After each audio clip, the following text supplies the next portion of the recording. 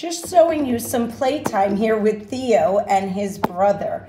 How cute is this? It's as if he's waving at you and saying, come on in, come visit me, and take me home.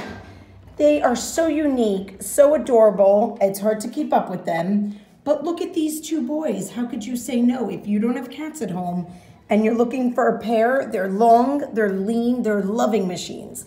So we don't know what they're a mix of. Uh, first, we thought maybe a little bit of Oriental short hair. Uh, as you can see, they could jump real high, and when they stretch, they're so long.